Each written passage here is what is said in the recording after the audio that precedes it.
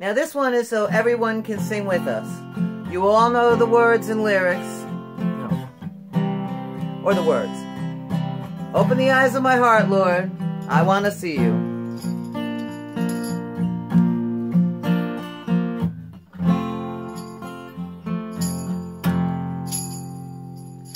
Open the eyes of my heart, Lord. Open the eyes of my heart. I want to see you.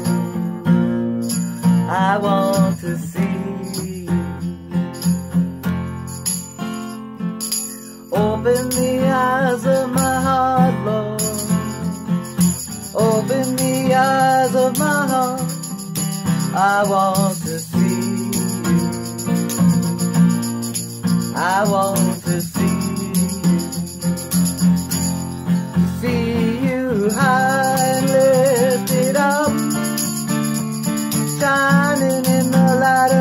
glory.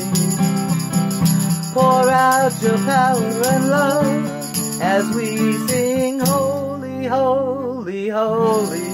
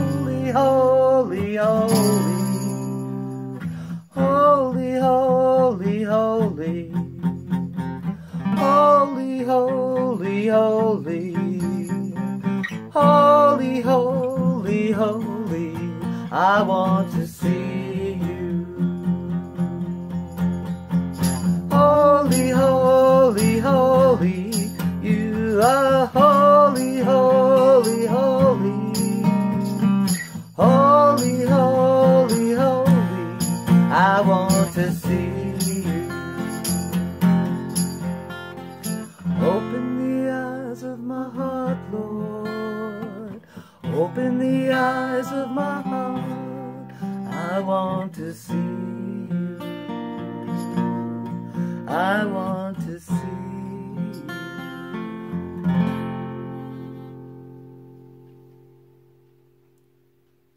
Hallelujah. Amen. The love of God, the faith of Christ, and the power of the Holy Spirit be with you. Welcome to worship at the First Presbyterian Church of Beacon, New York, where together we are bridging worlds, encountering God, and healing lives. I'm Gwen Watkins, I'm Gabriel McKee. I'm Anselm McKee.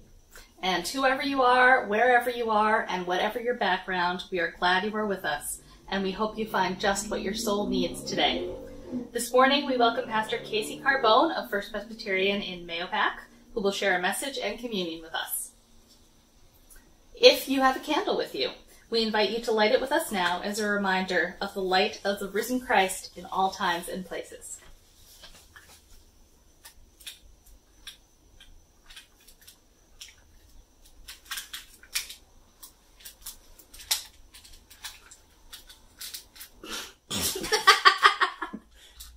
Is it broken? There we go. Hold on. Got it.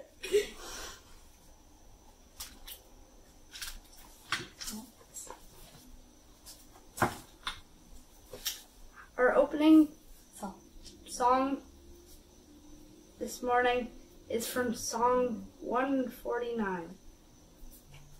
Praise the Lord! Sing to the Lord a new song, his praise in the assembly of the faithful. Let Israel be glad in its Maker. Let the children of Zion rejoice in their King. Let them praise his name with dancing, making melody to him with tambourine and lyre. For the Lord takes pleasure in his people. He adorns the humble with victory. Let faithful exult in glory. Let them sing for joy on their couches. Amen. Amen. Let us continue in a prayer of confession. O Lord our God, You call us to work for a world where all will be fed and have dignity, but we find ourselves distracted by our own desires. You call us to seek justice and peace, but we are satisfied with injustice and discord. You call us to bring liberty to the oppressed, but we do not insist on freedom for all. Forgive us, O Lord. Turn us to your will by the power of your Spirit, so that all may know your justice and peace. Through Jesus Christ, your Son, our Savior. Amen. Amen. If you have water in a container, we invite you to pour the water with us as a reminder of the grace and power of baptism.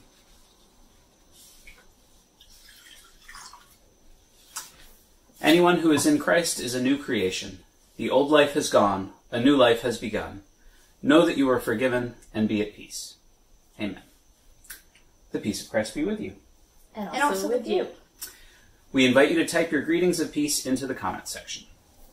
And you can also grab your shakers or any other noisemakers available and get ready to join our young friends as we sing the Gloria Patri. Pa- Patri. Patri? Patri. Mhm. The Gloria Patri of our song of praise to the true and God, Creator, Redeemer, and Sustainer.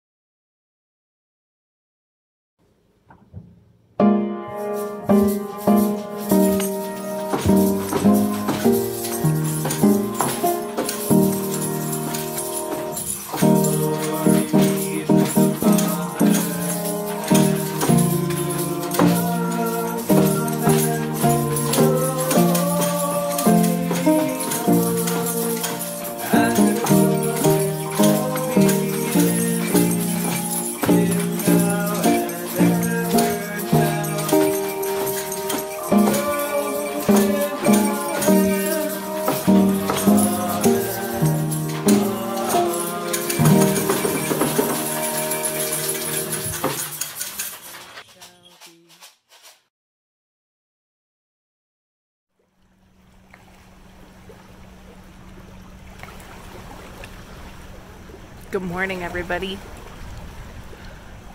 As you can see, this week, here I am at the Hudson River. This is Dennings Point, and Levi and Asa and Claire and I just took a walk here this morning. And you know what? I was just sitting here enjoying this amazing view. And it made me think about last week when we talked about going for a walk and finding things that remind you of God. And you know what? This place right here reminds me of God. The beautiful Hudson River, the mountains Storm King Mountain, being here in the woods of Dennings Point, seeing all these huge rocks. I'm sitting on one right now. All of these things remind me of how awesome God is. That God created all of this beautiful stuff for us to enjoy. And you know what? I love even some of the little things that I find. Like when I go to the river, one of my favorite things to look for is sea glass. Now, sea glass is something you probably want to ask your mom or dad before you pick up. Because, well, I don't want you to get hurt. So sometimes I have here, this is not sea glass. This is a little bit sharp, and I could probably cut my finger on it. But do you see this sharp piece of glass? If we leave it in the river for a long time, eventually you get this. This, now it might be hard to tell on the screen, but this is so smooth. I can run my finger all around it and it doesn't hurt at all. I love sea glass. It reminds me of how powerful God is that God can use something like water, which we love to swim in and we drink. I mean, not the Hudson River water, we don't drink that. But water is something that is so important and something that we use in so many ways, and God can use water to take something sharp and make it into something smooth. And you know what? God does that in our own lives too. God is always using other people and other things to teach us new things about ourselves, to teach us lessons, to show us God's love and God's grace and forgiveness, so that we can become new again. And when we know that forgiveness of Jesus, we can share that forgiveness and love with others. And so, I just wanted to come here today and share with you this beautiful view here. I love it so, so much, and I'm so thankful that we get to live in such a beautiful place. Aren't you? So, if you've taken that prayer walk, would you tell me about it? I still am waiting to hear. All right. Would you say a prayer with me? Dear God, thank you for the awesome beauty that you have created.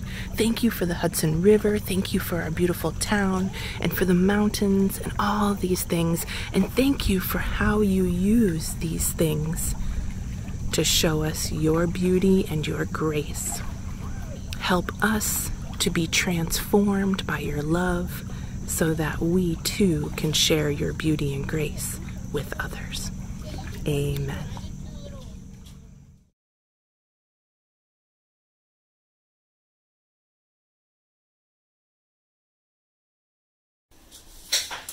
The scripture reading for this morning is from the Gospel of Matthew, chapter 18, verses 15 through 20. Listen now to God's word for us this morning. If another member of the church sins against you, go and point out the fault when the two of you are alone. If the member listens to you, you have regained that one.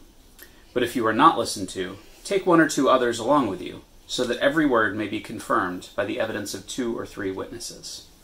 If the member refuses to listen to them, tell it to the church. And if the offender refuses to listen even to the church, let such a one be to you as a Gentile and a tax collector. Truly I tell you, whatever you bind on earth will be bound in heaven, and whatever you loose on earth will be loosed in heaven. Again, truly I tell you, if two of you agree on earth about anything you ask, it will be done for you by my Father in heaven. For where two or three are gathered in my name, I am there among them. This is the word of God. Thanks be to God.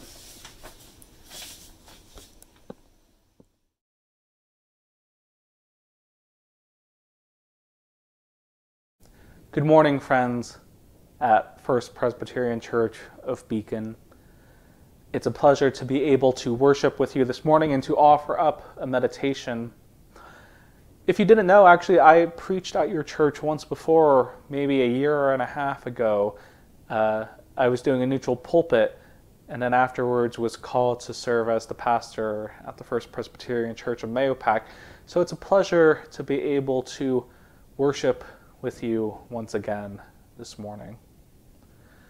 As you just heard the scripture reading from Matthew's Gospel, would you please uh, indulge me once again, though, in listening to the first verse of the reading? That comes from Matthew 18, verse 15. So listen once again to this part from Scripture.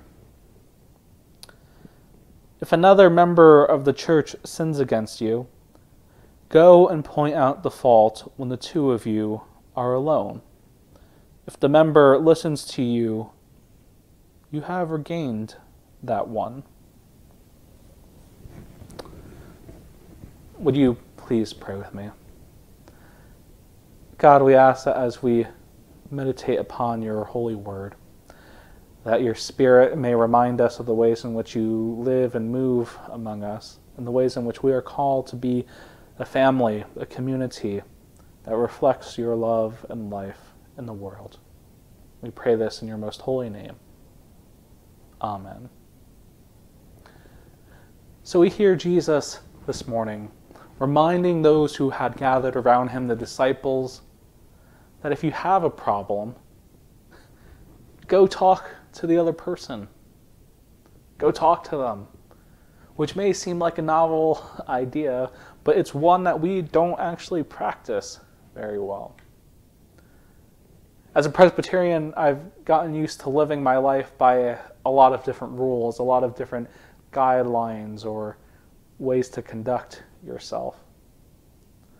But there's one guiding principle that I've always done my very best to make sure that I maintain it in how I do ministry and how our church does ministry. And that's that's this rule that we always name a name. No, I, I, guess I should expand on that. And, and I, I'll give you an example. Perhaps one that sounds familiar, perhaps one you've experienced. Imagine you're at a session meeting or some other kind of meeting, and you're gathered around the table, and as you're leading the meeting, someone raises their hand and says, You know what, I was talking to so and so, or I was talking to them about this, and, you know, they weren't really happy about what's going on.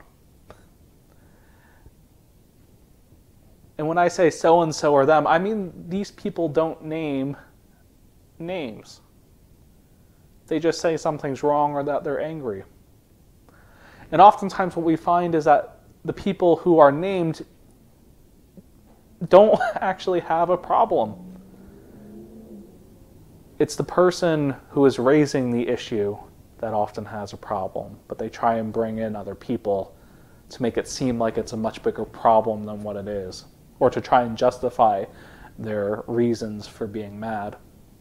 We call this triangulation when we try to pit people against another, or we try to bring other people into this conflict that's going on. And in reality, this way of conflict management, this way of addressing the bigger issues that are going on, is not helpful. It often leads to a, an even greater hurt for all the people who are involved. So we name names. We name what's wrong. We say who it is that we have a problem with or maybe feeling hurt by. And then we take the next step to bring about some kind of reconciliation, some kind of healing, if that's possible. Jesus is asking us to pursue such a course of action this morning in this reading from the Gospel according to Matthew. And it's not something that comes as a, as, a, as an instinct for us. We'd much rather blame other people to try and bring other people into the picture. But Jesus reminds us that living in a community of faith, living in a community in general, is a two way street. You have people who may have hurt others with what they said or what they did. You have people who are on the receiving end as well. And this conversation of reconciliation, though, goes both ways, according to Jesus. It's why you go and you bring someone else as a witness or as, as a neutral third party. But it starts with having a conversation. It starts with understanding or asking the question of why and how did this all start with, or how did it all start to begin with?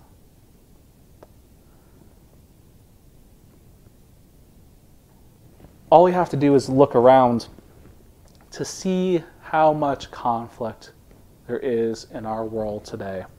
Not even on a national level, but on a local level as well. I think one of the important things for us to remember as we head into the fall, as we head into another election cycle, is to define what kind of person we are going to be. How are we going to handle conflict when we see it. As we scroll through our newsfeed, as we want to tear out our hair at what we see other people posting, how are we going to handle that? How are we going to handle disagreements? How are we going to address issues that are plaguing our environment? How are we going to address racial injustice and oppression? How are we going to fix all these things? Together, of course, but how we go about doing it is really left to us as well. An eye for an eye doesn't work. So perhaps we can give what Jesus is saying a try. And there'll be some things along the way which we really want to try and fix, but we just can't. There'll be people who we want or don't want to have a healing moment with or have reconciliation with. And in those cases, Jesus says there are just some things that we can leave in the hands of God. There's some things that we can leave with God who is in control of the stars, the whirling planets, and that's okay. Each of us have a sphere of our own influence, and sometimes when we feel as though we're just overwhelmed, we can put off some of those moments and give them over to God.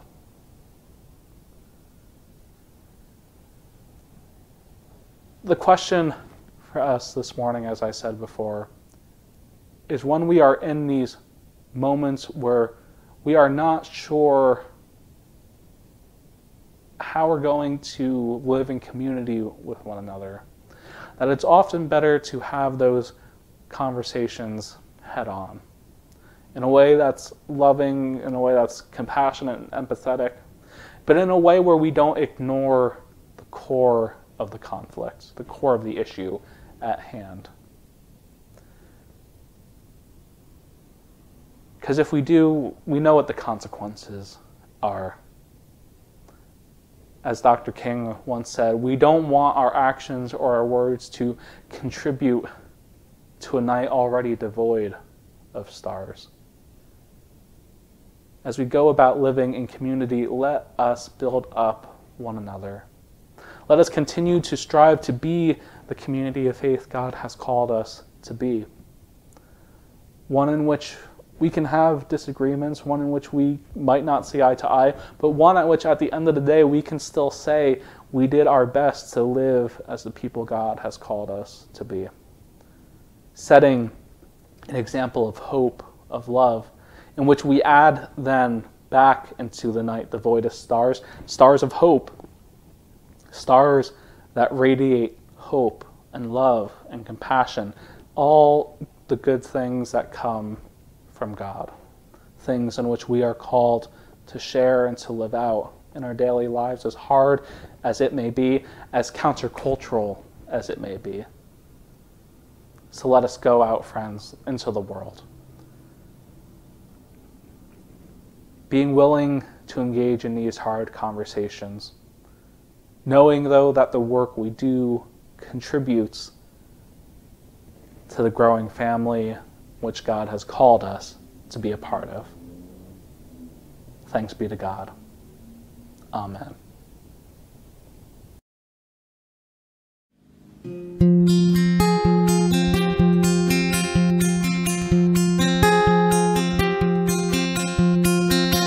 If I could tell the world just one thing, it would be that we're all okay. And not to worry Cause worry's wasteful and useless in times like these. I won't be made useless, won't be idle with despair. Gather myself around my faith that lights the darkness most fear. And hands are small, I know, but they're not yours, they are my own. No, they're not yours, they are my own, and I am never broken.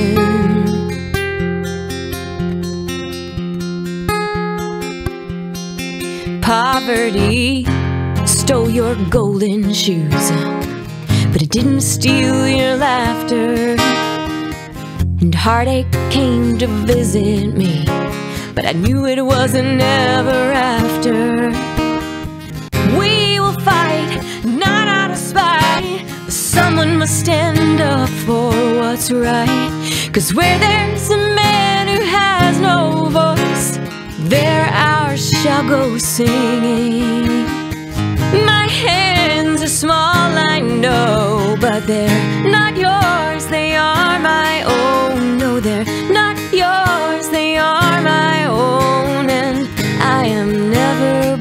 In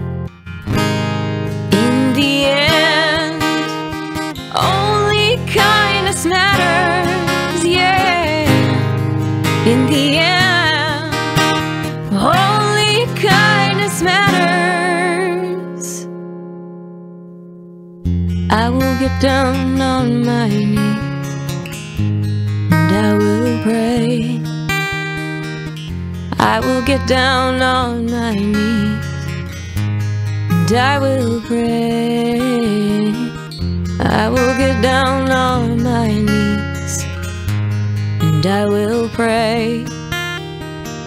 My hands are small, I know, but they're not yours, they are my own. But they're not yours, they are my own, and I am never broken.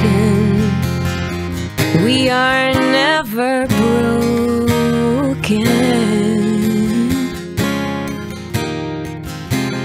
We are God's eyes, God's hand, God's heart. We are God's eyes, God's hand. God's mind, God's eyes. We are God's hand.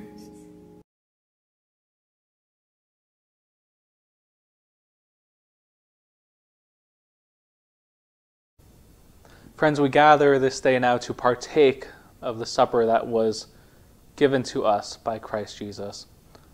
A supper where Christ sat down at table with his disciples and they shared a meal. They ate and drank and talked with one another. Christ still provides a table for us today to gather around, even if it is virtual. A table where all are welcome, regardless of their skin, their race, their heritage, their cultural identity, their sexuality, whatever it is that we try to use to separate ourselves. Christ tears those things down and welcomes us as we are and asks us to welcome each other as well. This is a table that is not just the Presbyterian table, it is a table where people from north, south, east, and west will come to be together with one another, to sit at table and commune with each other. Everyone who thirsts comes to the waters. Let those who are hungry and thirsty come and eat. For God will satisfy their souls with a rich feast, a rich feast, and we will bless the Lord as long as we live. Friends, the Lord be with you, and also with you. Lift up your hearts. We lift them to the Lord. It is right to give our thanks and praise. It is truly right and our greatest joy to give you thanks and praise, O God, our Creator and Redeemer. For in your wisdom you made all things and sustained them by your power. You formed us in your image and love and serve you. When we were slaves in Egypt, you freed us and led us through the waters of the sea. You fed us with heavenly food in the wilderness and satisfied our thirst from the desert springs. On a holy mountain you gave us your law and guide us in your way. Through the waters of Jordan you led us into the land of your promise, and you sustained us in times of trial. You spoke us you spoke to us through prophets, calling us to turn from our willful ways. to new obedience and righteousness. You sent your only Son to be the way to eternal life. Therefore, we praise you, joining our voices with the choir of angels and with all the faithful of every time and place who forever sing the glory of your holy name. Holy, holy, holy Lord, God of power and might, heaven and earth are full of your glory. Hosanna in the highest. Blessed is he who comes in the name of the Lord. Hosanna in the highest. Gracious God, pour out your Holy Spirit on us and upon these your gifts of bread and wine. And the bread we break and the cup we bless, may the communion of the body and blood of Christ be with us. By your Spirit, unite us with the living Christ and with all who are baptized in Christ's name, that we may be one in ministry in every time and place, and that this bread is Christ's body for us as we go out into the world to be a living witness. Help us, O God, to see the ways in which we have fallen short, the ways that we have not honored the image that dwells inside each and every one of us. Forgive us for the times we have failed to call out acts of racism and oppression and prejudice, for the times we have neglected our neighbor because of their cultural upbringing or their sexual identity. Forgive us for the ways that we have failed to love our neighbor. Guide us, O God, through these trying times, through the desert of life. Quench our thirst with the living waters. Satisfy our hunger with the bread of heaven Give us strength to serve you faithfully until the promised day of resurrection, when with the redeemed of all the ages we will feast with you at your table. For great is the mystery of faith. Christ has died, Christ is risen, Christ will come again. Almighty God, we give you thanks for the work of all your saints, those past and present, and those who are to come those who with their hands provide healing, those who with their minds and their mouths seek out wisdom and justice. We pray, O Lord, on this day for the many aches and pains and illness that plague our world today, for the disease of COVID 19, but for also the disease that we wrestle with, the disease of racism and hate the things that impact not only our bodies but our souls and our minds. And pray that your Spirit come and dwell among us, that it may alleviate these pains, that it may give us the strength and courage to stand against them, to fight against them, to be the living witness you have called us to be. Almighty God, as we head into another season May you be with all those who are struggling to find what is next, whether it be educators, those who are searching for jobs, those who are in a position where they're not sure of what will happen next, for those who continue to protect us and serve us, who watch over our communities. And we pray for those, O oh God, who continue to provide leadership in our churches, our synagogues, our houses of worship, our towns, our state, and our world. We lift these things up to you, O God. And as our Savior Christ taught us to pray, we are bold to pray. Our Father who art in heaven, hallowed be thy name. Thy kingdom come, thy will be done, on earth as it is in heaven. Give us this day our daily bread, and forgive us our debts as we forgive our debtors. And lead us not into temptation, but deliver us from evil. For thine is the kingdom, and the power, and the glory forever. Amen.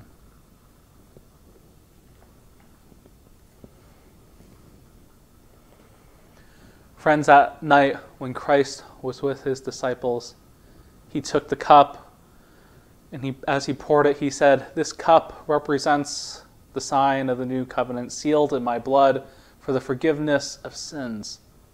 Whenever you drink from it, do this in remembrance of me. And in a like manner, he took the bread, and he, as he broke it, he said, This bread represents my body broken for you. Whenever you eat of it, do this in remembrance of me. May these simple elements of bread and cup feed us with the spiritual nourishment we need. May they remind us of our calling and our purpose to be the people of God in every time and place. Friends, these are the gifts of God for the people of God. Let us partake of them with joy and thanksgiving.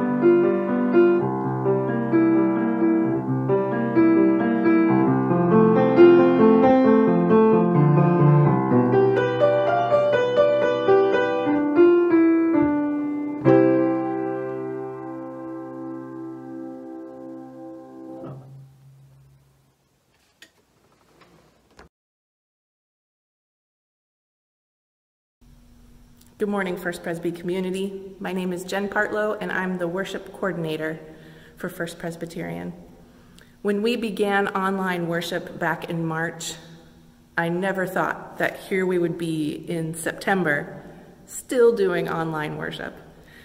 And I definitely never thought that we would still be doing online worship during a pandemic without a pastor. So I just wanted to talk with you this morning about a few things with worship.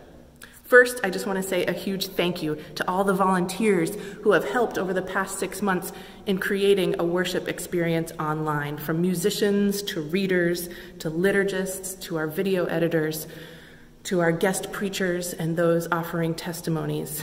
Thank you so much for offering your heart and your soul and your time and your energy into creating an online worship experience for so many of us.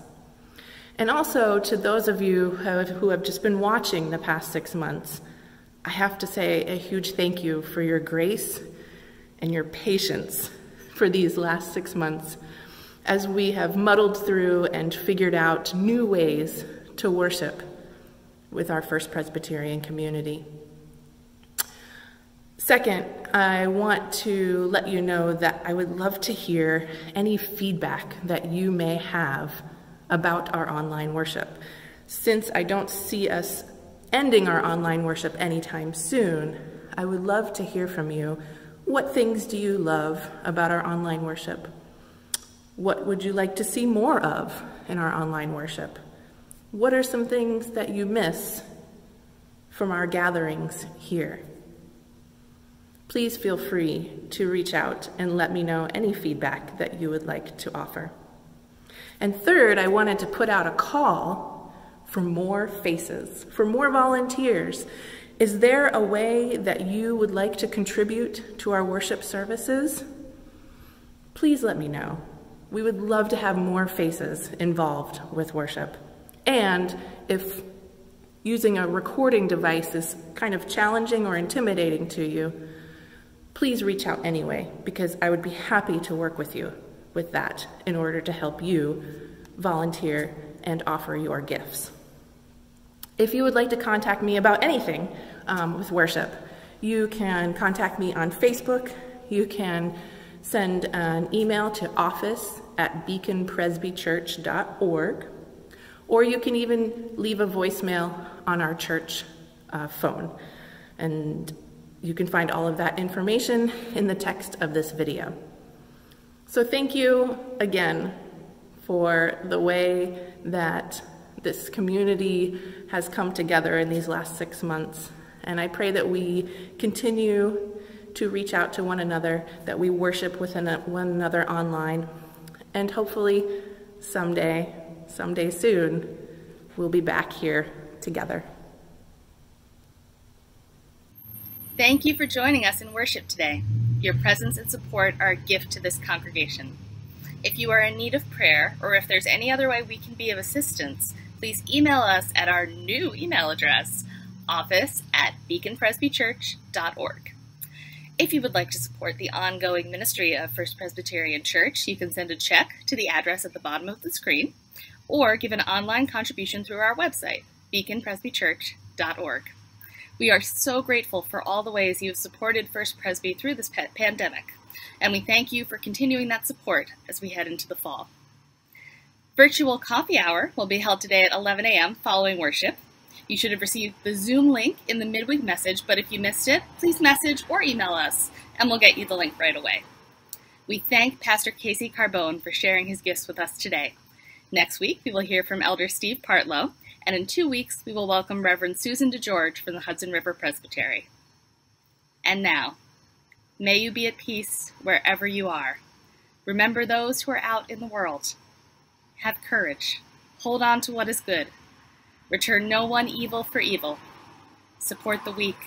Help the suffering. Honor all people. Love and serve the Lord, rejoicing in the power of the Holy Spirit. And wherever you are, may the love of God, the faith of the risen Christ, and the power of the Holy Spirit be with you, now and forever. And let all God's people say, Amen.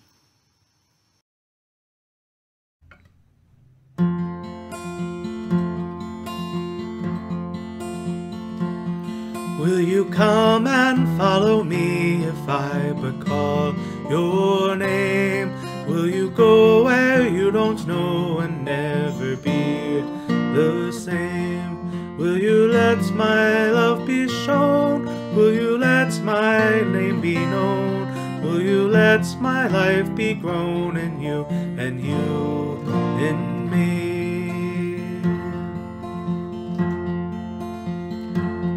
Will you leave yourself behind if I but call your name?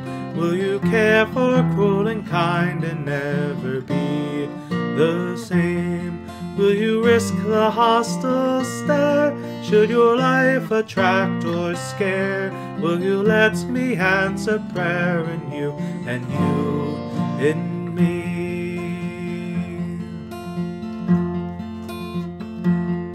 Will you let the blinded see if I but call your name? Will you set the prisoners free and never be the same? Will you kiss the leper clean and do such as this unseen and admit to what I mean in you and you in me?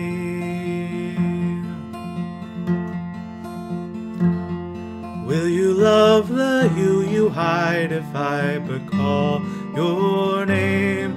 Will you quell the fear inside and never be the same? Will you use the faith you found to reshape the world around through my sight and touch and sound in you and you in me?